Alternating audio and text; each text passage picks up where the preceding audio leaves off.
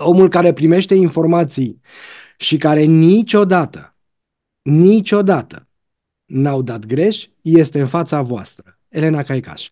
Începem această întâlnire uh, mult mai scurtă decât o emisiune cu care voi v-ați obișnuit, cu un filmuleț pe care împreună l-am realizat uh, chiar la sfârșitul anului trecut și vreau să-l urmăriți și după aceea îl și comentăm.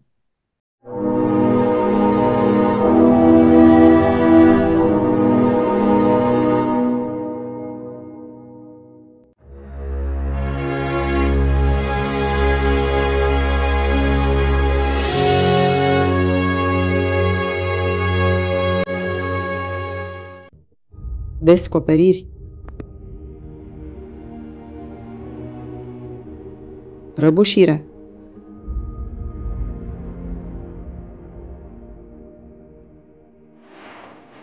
Recompensă. Validare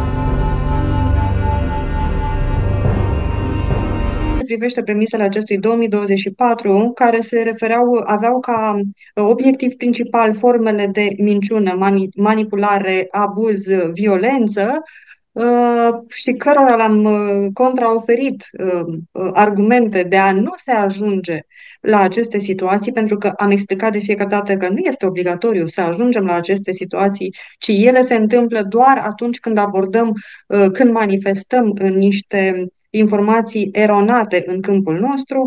Din păcate, repet, le-am atras exact pe cele mai negative și de fiecare dată nu știu cum facem, deși sursele de informație există și o să vreau să abordăm puțin acest subiect, oamenii se îndreaptă exact către sursele de informație uh, mai puțin corecte, mai puțin acurate și aleg varianta, uh, manifestă varianta uh, cea mai nocivă către care se poate duce uh, individul, și anume uh, informația aleasă de ego. Am vorbit în 2023, uh, referitor la 2024, uh, despre conflicte pe care, le, din păcate, le vedem. Oh, oh. Am vorbit despre manipulare, pe care, da. din păcate, o, ne, ne controlează viața în acest moment și controlează tot ceea ce înseamnă uh, canal de comunicare.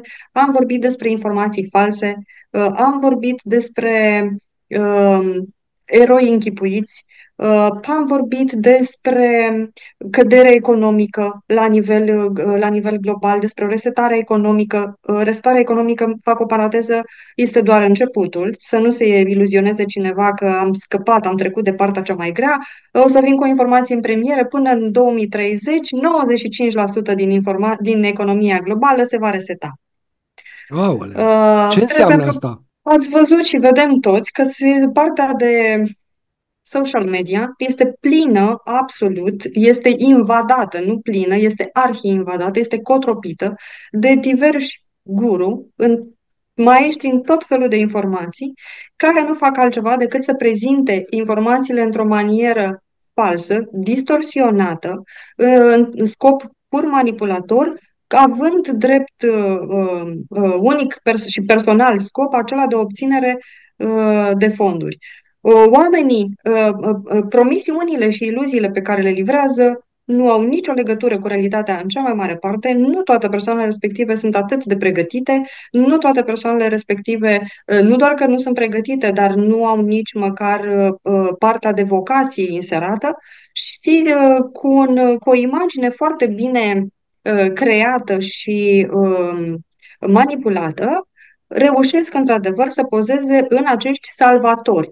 Uh, Vină la cursuri, de, la workshop-uri de abundență financiară, veniți la workshop-uri de uh, manifestare a intenției, veniți la workshop-uri de prosperitate, uh, veniți la workshop-uri de planificare, venim la workshop-uri de orice, de parcă noi suntem a toți stăpânitori. Ei bine, nu, da, cel mai nu tare, suntem deloc a toți cel mai tare, Elena, este workshop-ul ăla prin care te, ești învățat să prevezi viitorul. Deci asta este Eh, cum să spun, e, uh, da, de citire, dacă ai de trecut de toate workshop-urile și ai fost prostit, ăsta ultimul îți dă lovitura.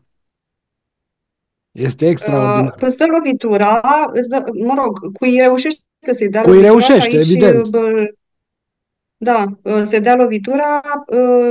De ce de lovitura? Din două motive. Cui reușește, că ei reușesc, acești indivizi reușesc doar să atragă prin uh, eternul buton pe care îl avem, cu care suntem uh, uh, înzestrați la nivel de spirit, și anume ego-ul. Domnul mm-hmm. ego, care face din noi exact ce vrea el și mai puțin ce vrea divinitatea.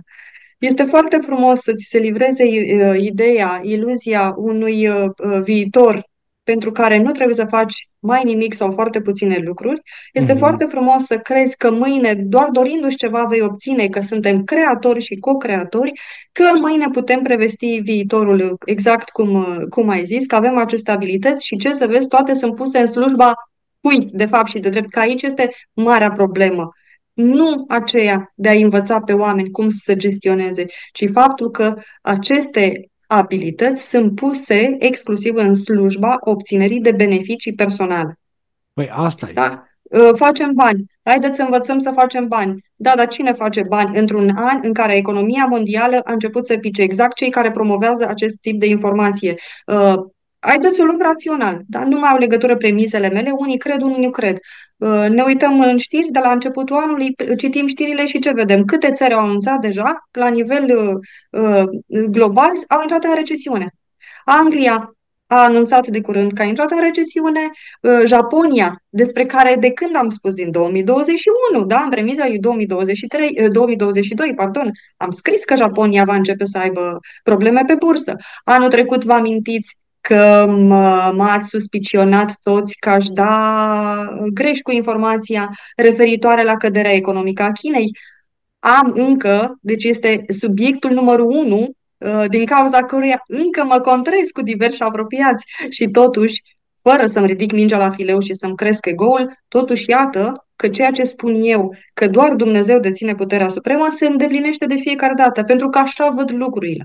Doar Și ai mai Dumnezeu spus, deține puterea supremă. ai mai spus un lucru care, cred că chiar ieri am văzut o știre referitoare la India. India face uh, pași uh, extraordinar de, de Că se mari ridică India, da, da, da. și se ridică Da. foarte mult. Da. Da, da, într-adevăr că India va prelua puterea economică, da, în următorii ani un- India se va ridica și va deveni numărul unu uh, în economie. P- Este numărul unu deja, este, la nivel demografic deja este numărul unu, a depășit China de anul trecut. Uh, p- p- Are, uh, în acest moment, din câte am citit, are capacitate nucleară deja, uh, forță, capital uman are slavă Domnului, deci are cu ce să ducă la îndeplinire toate celelalte pre- premise. Cam despre asta este, uh, este vorba. Ba mai mult decât atât, inclusiv la nivel de știri, ei au lansat niște informații uh, din care, uh, pe care, vă- urmărindu-le, am văzut că au uh, declanșat așa o ofensivă de imagine, în sensul în care se războiesc cu vechile uh, imagini vehiculate în presă despre India. Vor să doboare acea uh, vestit, uh, acel vestit filmuleț cu indienii care călătoreau pe trenuri deasupra, mă rog, da, cu o Indie rudimentară.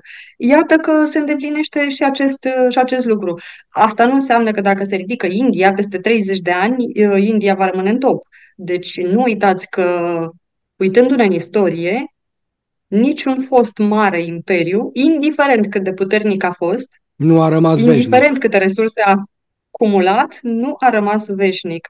Și aș aminti aici, uh, uh, l-aș aminti pe Alexandru cel Mare, despre care știm toți cum a cerut să fie, uh, cum a solicitat să fie îngropat, da?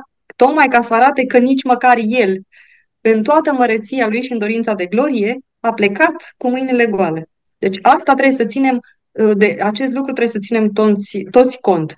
Faptul că puterea nu este la noi, că o avem, dar o avem limitată și o avem doar dacă uh, divinitatea a avut generozitatea să ne binecuvânteze în spirit cu acele daruri. Apropo de uh, ceea ce ziceam mai devreme, poți să manifesti viața pe care o dorești, poți să manifesti prosperitatea pe care o dorești, poți să manifesti iubitul, relația pe care o dorești, uh, poți să manifesti absolut orice. Nu. O să vin acum și probabil că voi fi foarte contestată și foarte contrată această informație. Nu este așa. Uh, Poți să manifesti sau ai capacitatea de a atrage acele informații doar în urma îndeplinirii altor condiții și anume, este foarte importantă informația ca să spargem odată aceste, uh, aceste iluzii. Avem odată capacitatea spiritului, da? că nu toate spiritele sunt egale și exact cum am zis mai devreme, dacă divinitatea a avut uh, uh, generozitatea de a ne binecuvânta cu aceste daruri, avem uh, misiunea spiritului de care trebuie să ținem cont, avem karma spiritului de care trebuie să ținem cont, avem uh, momentul de evoluție la care se află spiritul în momentul respectiv și mai avem deasupra tuturor acestor factori suprema informație care este voința divină și planul divin, evident. Pentru că altfel poți să-ți dorești tu din toate celulele corpului tău fizic și energetic, cuantele de lumină ale corpului energetic, și nu vei atrage acele informații sub nicio formă. Spuneți-mi și mie sau oricine altcineva să-și dorească în acest moment, dacă ne referim la dorințe, să încerce să-și dorească să devină regele Angliei. Oare o să poată? Doar pentru că își dorește foarte tare? Nici chiar așa. Și totuși, de ce oamenii sunt atât de flămânzi pentru a acumula? Din cauza unei relații slabe cu divinitatea. sau a uneia viciate. Cu cât ne îndepărtăm mai tare de principiile divine și de învățătura pe care am primit-o, cu atât mai tare ne afundăm în uh, solicitările egoului, care sunt contrare principiilor divine.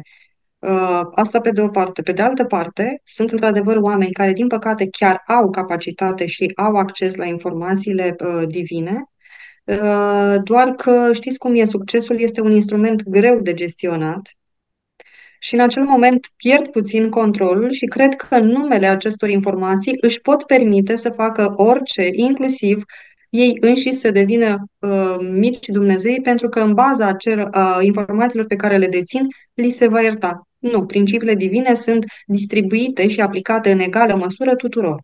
Dumnezeu și-a rezervat dreptul la cheia cunoașterii supreme care nu ne va fi dezvăluită niciodată. Și aici foarte mulți pică și își viciază canalul, foarte mulți cunoscători, da, pică și își viciază canalul tocmai din dorința aceasta uh, insidioasă de a obține informație cu orice preț. Și atunci, cu cât alergi mai tare după acea informație, cu atât se va îndepărta de tine și îți vei vicia canalul. Uh, uh, că ați spus la început și uh, acum mi-am amintit, m-ați prezentat ca fiind uh, Uh, ca dând informațiile cele mai exacte și că nu greșesc niciodată. Este o mare responsabilitate cea pe care mi-a spus-o pe umeri. Uh, asta înseamnă este că un adevăr. Foarte... Este un adevăr. Un adevăr verificat. Nu vorbim de, de povești.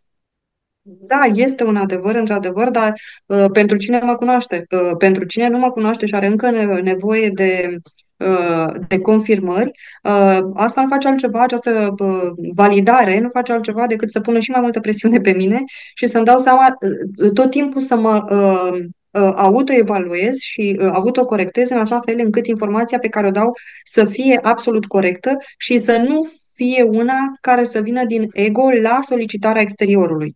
Și uh, lucrurile pe care, cel puțin cei care mă cunosc, uh, și în ședințele private de, uh, de terapie pe care le fac, atunci când nu am informația, nu o dau, chiar dacă sunt uh, întrebată. Nu ofer informații la cerere doar pentru că cel din fața mea sau ceilalți da, mi le solicită nu alerg după informație. Eu nu prezint ca informație decât ceea ce vrea Universul să-mi livreze. Poate de aici vine corectitudinea informațiilor. Nu caut informația cu orice preț. Uh, deși e adevărat, recunosc sincer că și eu am mai fost tentată și cred că, nu că încerc să-mi găsesc o scuză sau o justificare, dar în momentul acela mulți dintre noi am făcut asta, inclusiv astrologi uh, au uh, încercat și numerologii au încercat să caute informația, în momentul în care a început războiul din Ucraina, uh, toți au început să căutăm finalul. Din punct de vedere energetic, care simți tu că ar fi premisele? Tot ceea ce pot să spun este că se demonstrează cu succes, cu succes din păcate, e cumva, cum să zic, succesul ăsta este o ironie, pus în ghilimele, premisele anului 2024. Uh, chiar și mai devreme și azi de dimineață am trimis acea știre, am și postat-o, mi se pare, acea uh, știre referitoare la uh, intervenția uh, mascaților în locuința unui cetățean din Reșița, uh, locuință pe care au greșit-o. Inclusiv această premiză am oferit-o în premisele anului 2024. Dar, repet, dacă nu am ceva în mod special pe care Universul să vrea, dorească să-mi livreze, uh, nu pot să ofere această informație. Uh, puteți să mă întrebați așa, uh, generic vorbind, ce va fi până în 2030? Asta pot, dar în următoarele ah, păi 3-4 săptămâni. Te întrebăm, Elena, generic vorbind, ce va fi până în 2030? Ah, ce important. Asta e foarte important. Păi uh, în 2025-2026, am mai vorbit eu despre asta, am vorbit încă de anul trecut, se prefigurează pentru România, acum spun, Uh, o revoluție, dacă nu o revoluție, cel puțin niște manifestații de stradă. Uh, dar cred că în 2025 se va întâmpla acest lucru. Acum că aceste manifestații de stradă vor fi instrumentate și cu ajutor extern, rămâne de văzut. Adică nu știu cât. Uh, s-ar putea să fie să se repete schema 1989. Uh, da. Uh, nu, nu la nivelul acela, nu chiar la nivelul acela, dar mă refer la fondul emoțional, da? A fost o, cum a fost orchestrat și, într-adevăr, pe, pe un val emoțional bine stimulat să se, să se creeze amploare, să ia amploare aceste, uh, aceste manifestații. Și repet, cu ceva ajutor din exterior, ați văzut că am vorbit și în acest 2024 despre acest ajutor exterior pe care îl primim cu desăvârșire, aș putea spune. Cu, și culmea că, deși știm toți, încă această formulă are succes și produce efecte. 2026 este posibil, ca urmare a acestor manifestări, uh, este posibil ori să se schimbe, ori să se pună în discuție măcar schimb, modificarea Constituției. Uh-huh. Că se tot vorbește și despre asta de ceva vreme și pe fondul acestor situații s-ar putea să se uh, modifice ceva în Constituția uh, României, 2027 uh, o să fie la nivel mondial, iarăși, conține acel șapte, ca anul trecut, uh, da? Când zicem șapte, spunem spiritualitate și karmă, și mm. va fi un an de schimbare uh, de dogme, de schimbare de dogme la 90 de grade, da. Și cred că uh, e posibil ca în 2027, acum nu că vreau să atrag sau că îi doresc cuiva ceva, Doamne ferește, dar s-ar putea ca în 2027 să se pună problema alegerii unui nou patriarh. În 2028, mhm. la nivel global, cred că și tot din cauza conflictelor care uh, vor continua, că v-am zis eu, puncta, punctate la nivel global tot vor exista, Uh, și va, va fi inclusiv un conflict între religii, da? Uh, subiectul mult disputat în istoria civilizației noastre, că în numele religiei s-au pornit războaie, da. drept pentru care în creș- creștinismul cred că se va, va lua foarte în serios trecerea la ecumenism. 2029 vine cu următoarele alegeri, și cred nu, 2024, că 2028 vine cu următoarele alegeri. Și 2029 vine cu prezidențialele. Prezidențialele, da. Da. La asta mă, mă refeream acum. Da. Cred că de-abia, cred că de-abia în 2029 vom avea președinte mai aproape de ceea ce merităm. De-abia atunci vom începe să învățăm. Pentru că pentru 2024 am spus că, că nu învățăm, pre... repetăm. Să înțeleg că următorul președinte nu, nu, nu va avea decât un mandat. Nu am spus asta, am spus că de-abia atunci vom alege mai în cunoștință de cauză și mai corect pentru România. Uh-huh. La, asta m-am, la asta m-am referit. Uh, dacă se va schimba Constituția, nu se știe. Deci luați poate să, să fie ales, aceste... Poate să da. fie ales de Parlament, președintele, da. Da, da, corect, da. da. Uh, corect. Și nu doar asta, s-ar putea să, să fie niște modificări și în ceea ce privește România ca stat unitar. Dar granițele noastre, cum le simți așa la o Păi nu, nu, nu, ca stat unitar în sensul că să fie, uh, când mă refer, nu mă refer la faptul că va fi am o dezagregare eu, a Am înțeles eu ce spui, dar mă, eu mă duceam mai departe, în perie, până în 2030. Nu, va fi mai degrabă, o, uh, vor fi uh, adăugate uh, niște specificații care să întărească România ca stat unitar, tocmai pe fondul manifestațiilor anterioare, da? dacă ele vor avea loc. Ă, să ținem cont de ce am zis. Nu este bătută în cui informația, depinde ce alegem să facem. Dacă renunțăm la acel ego despre care tot vorbesc și nu ne mai ducem și vrem bani, vrem putere, vrem să fim creatori și vrem să obținem orice acum, el, dacă se poate, că așa suntem învățați și că așa credem noi în naivitatea și dorința noastră de putere, atunci, și asta e valabil la nivel global, nu doar pentru România. Din 2030 deja vorbim despre o altă societate la nivel global. 2030 înseamnă 5, înseamnă trecerea către etapa superioară. Din 2030 o să vedem tehnologia, o să vom vedea societatea, uh, cum se schimbă, e, e, e împinsă de la spate, da? trebuie să se adapteze. 5 este și o cifră a schimbării și a adaptării. Deci, 2000, uh, și din păcate, s-ar putea să aibă loc mai devreme, dar din păcate, cel puțin pentru România, uh, dar abia prin 2000 30 și aleșii noștri se vor gândi că, într-adevăr, este o uh, imperios necesar, eu sper, repet, sper că mai devreme, că este imperios necesară o schimbare a sistemului de învățământ. Cam târziu. Se pare că mai avem de așteptat uh, încă, un, cel puțin încă un mandat electoral, ca într-adevăr să ne dăm seama că și să, punem, să ne punem problema din 2030, avem o țară, ce facem cu ea? Mulțumim foarte mult, Elena Caicaș, parapsiholog. A fost o întâlnire foarte consistentă. Elena Caica, să auzim de bine! Doamne ajută!